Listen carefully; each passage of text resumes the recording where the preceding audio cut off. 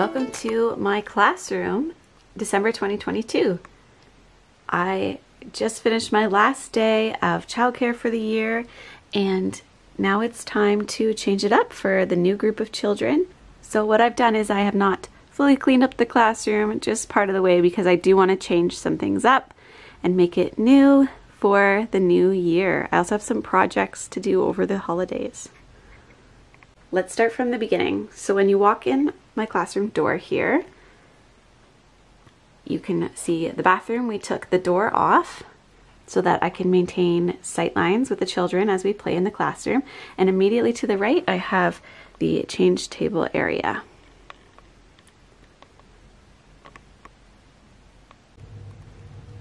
So this is the change table area. I just have an old dresser here that has drawers and each child has their own drawer with their names labeled. So I've got um, three children right now, including my own, and in January I'm going to have six plus, depending on some part-time children.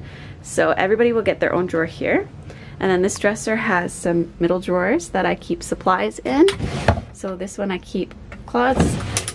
This one I keep, as you can see, plastic bags for um, putting poopy diapers in so it doesn't stink up our classroom. And then this one I have extra garbage bags, band-aids, some other random things like that.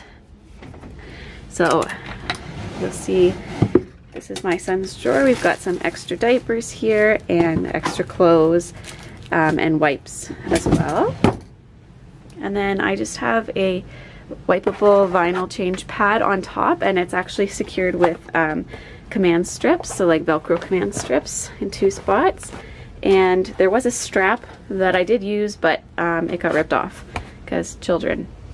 And then beside the change table, I keep a basket here with extra wipes. The children do provide their own wipes, but um, you know, you always run out and need extras. And also my son just uses these and some Vaseline. And in this bowl, I usually keep gloves here, but there's not full right now. And a light to make it a warm little space because this is a dark corner. Beside, I have just a regular garbage can that I change out every day.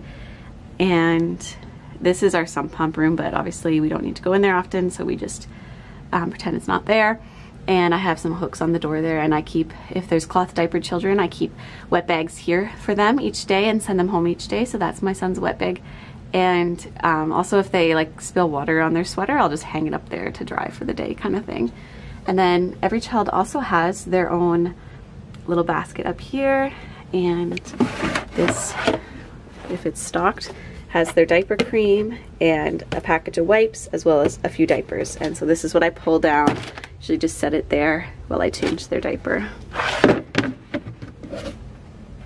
Above is just storage, so there's uh, my box of gloves and some sunscreen and stuff like that, and extra wipes.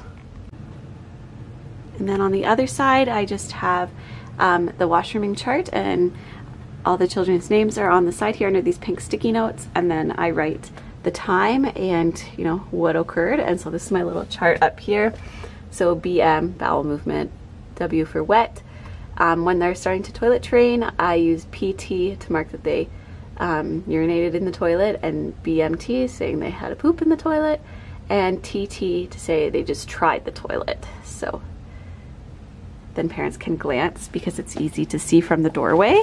They can literally just stand right here in the doorway and see, um, you know, what their child was up to today in the washroom. And then here we'll go into the bathroom. So like I said, we took the door off and we just attached a curtain there with a rod. Um, do I ever close the curtain? No. but um, it's there just in case. There's a shower in here, which I currently just use for storage, but I've had some ideas about how I could maybe use it as like a sensory area. So maybe someday we'll do that and that could be pretty neat.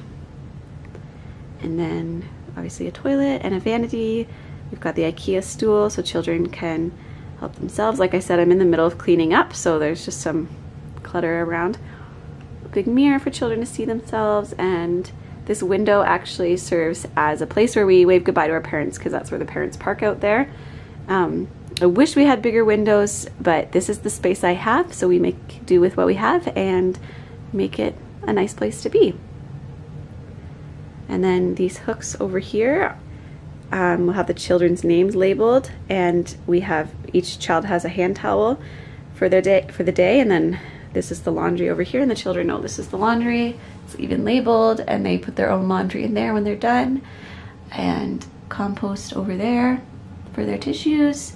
And you'll see the stool right there is usually in front of the toilet for when we're trying the toilet. And then this chair here is for me so I can sit down and help children on the toilet or sometimes we do um, diaper changes standing up. So that's the bathroom. So you can see the doorway here and this is the space the children see on their left opposite from the change table area here.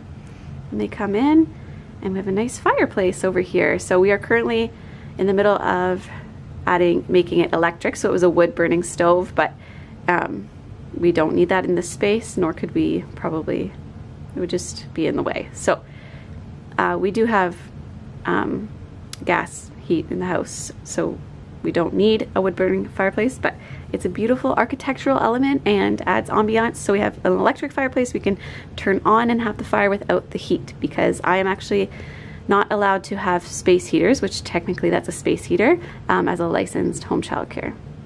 So we have the daily schedule as you come in the door. This is just like a peel and stick whiteboard from Staples. And we've got an Ikea um, play shelf here. I got these stools at Winners. They're pretty neat log stools. And then what I have set up here right now is a light pad. So this is what um, you can use. This is for like drawing and tracing. Um, but it is an inexpensive, practical light table. So I currently just have some light table materials in here, window blocks, you can also adjust the brightness on this. And then this is our old laptop for playing with. And I don't have super intentional materials in here right now, um, so we will revamp that for the new year. I think it's just paper, just paper in here, which doesn't really make sense right now. And then puzzle piece. Right when you come in, you see kind of the teacher area here, which again, it's messy right now because I'm in the middle of transitioning. All right, so I'm gonna take you through the teacher zone here. Um, this is where I keep like pens and scissors and string and all that good stuff. And this bucket's personal things like lip chap and hand lotion. I used to have a plant in there, but it died, so we have to we had to move to fake plants down here, unfortunately. Um, in this rack, I keep my health and safety binder, and these are my documentation forms and a little whiteboard magnets there, and my attendance binder, and some random art materials that are lying around from our art experience. In the drawers, I just keep more like teacher supplies and lamination papers and stuff. And then underneath, this bucket's supposed to be here. That's um, like paint smocks and claws for painting and sensory. Obviously a vacuum, recycling bin that needs to be taken out. And then this is where I keep my brooms and my sweeper. There. And then this side is the kind of kitchenette area. This is just a craft project drying on my counter there. This is another space that's going to be getting a revamp. Um, on the shelf here I keep all of our dishes and hand sanitizer in here and then up here is where I keep a bucket for the dirty dishes. So after we finish eating I just pop the dirty dishes in the bin and then at the end of the day I take that upstairs to wash. Um, microwave I make the food either in the morning or the day before and we store it in the fridge and reheat it here bin for water bottles for the children, menu, um, hot water kettle, and then this is my sanitizer, which I usually have one here and then one over by the change table, but again, needs a refill. In my drawer here I have green bin bags, plastic baggies for when needed, and cutlery.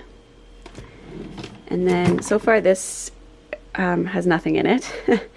and in these boxes I have bibs, face cloths, and extra like tea towel type things down here.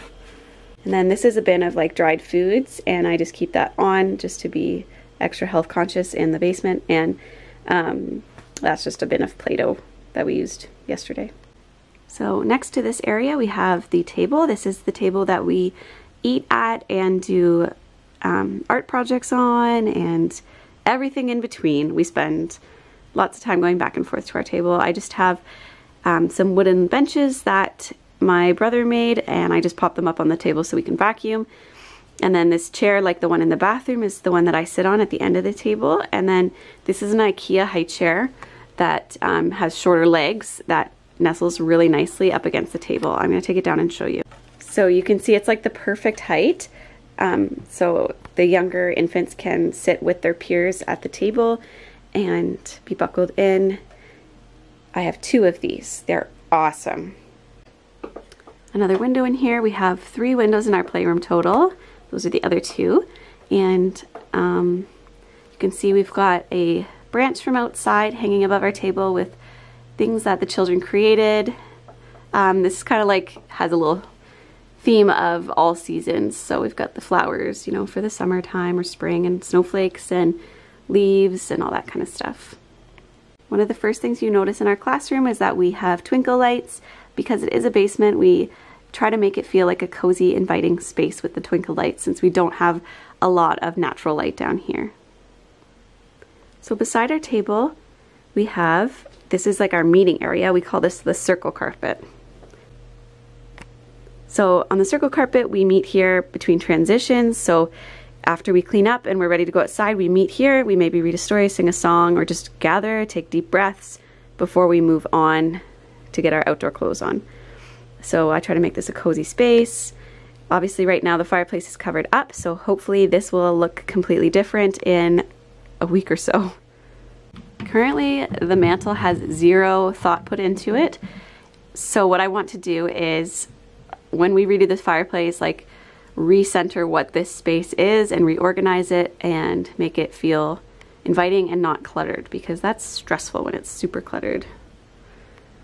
So this is a good space for children to sit and do some puzzles, snuggle up with a book. So there's lots of books there. And I got this easel recently to add to our classroom. So my thought is having a flip chart here and we can um, document the children's learning on it and then just flip it over so that we have the opportunity to look back on children's learning and flip through it if the children are curious and that could spark new interests and learning opportunities. Beside the easel here we have their portfolios. I'm not going to tilt it down too far because of their names are showing and this is where I put pieces of documentation or their artwork or pictures of them uh, each month and it's at the end of their time with me it's a little glimpse into their experience here. And then on top here I just have notebooks for the children and they each have their own. This is a place where they can engage with literacy materials like pencil and line paper and there's no rules to this. Every once in a while or every time they color in it, I try to catch them and write the date just so that you can always go back and see how they're developing with their um, risk development, their cognitive development, and their language and literacy. Above this we have a laundry hanger for hanging our artwork to dry and that transitions us into our art and sensory space.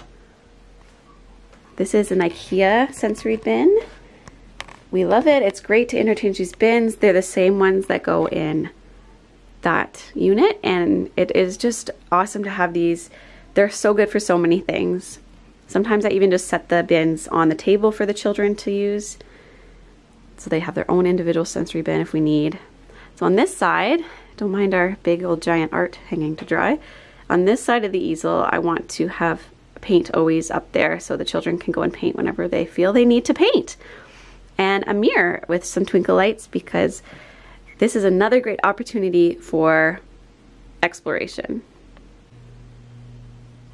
Above this area we have huge shelves that we added in September with art and sensory materials. Again, it is very cluttered and I hope to do a video just on organizing the art material space here.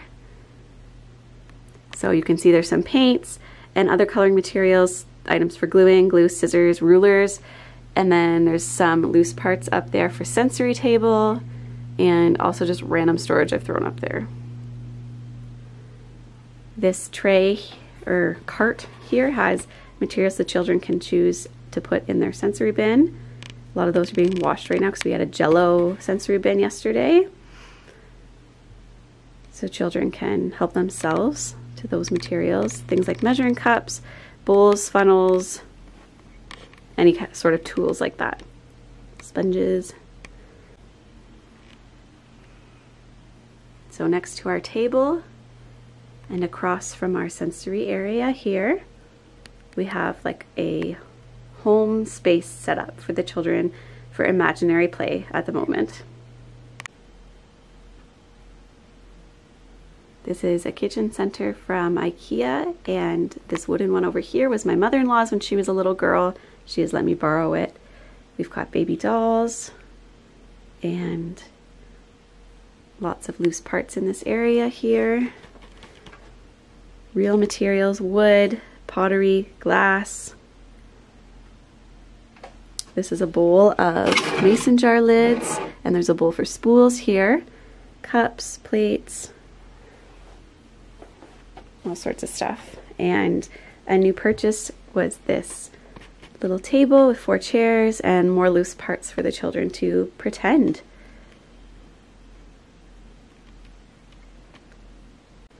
Behind the kitchen center, we've got a big shelf right now. And this is kind of our larger motor play block zone. We've got some scarves here. This can be used for imaginary play or in their block play, just another loose part material that's a little bit different. More loose parts in here. Can these are candle lids and these are just like nature wicker balls. A basket of misfit blocks and then some more blocks sorted by shape. Over here we have some loose part building circles that go together or for younger children they can just be like a loose part music, and some materials we change out up on this shelf here. Connecting to the space, we have some vehicles, balls, big cardboard box. This is for gross motor exploration. This rainbow rocker, which can be flipped upside down and it will rock. This is a foam um, connecting tiles. And these are large vinyl blocks. The children's artwork on the walls. Over here we have mason jars with more loose parts. There are twinkle lights that are up there too. They're just not on. Another fake plant just to bring some fake life to the space. and some more books and other materials. This was like an entertainment unit that maybe was renovated in like the 70s, but I guess it adds like a little feature to our room. I'm not going to show you because of children's faces, but we have a family tree um, photo frame collage just above this here. And it kind of brings your eye in when you walk in the room to the back of the room and um, centers it. And I love that it's a tree. It's got that naturey feel. And then over here, we have our Christmas tree. So this Christmas tree, we decorated together, wrapped some garland lights, and the children made their own ornaments to put on. All the children in my group celebrate Christmas, so this is what we did this year. And inside we've got a cozy place to read a book or to snuggle with some pillows. There's some stuffed animals beside they can bring in. More mason jars and books behind this. And then this leads us into our small world play zone.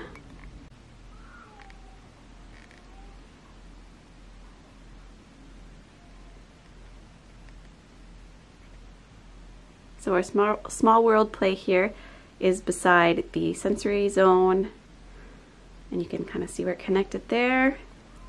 I have this old trunk, this really soft, squishy, kind of grass-like carpet, and then some shelves at child height.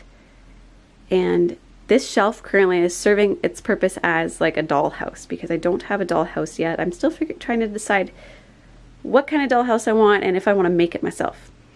And then some, so all the dollhouse materials are wooden and we've got some winter animals, kind of a winter scene over here. And on top of the trunk, we had a nativity set, which we're going to switch out now that it's um, going to be the new year. This nativity set I found at the thrift store and somebody had crocheted it or knit um, and worked really hard on it. So it's pretty awesome. The children have loved it.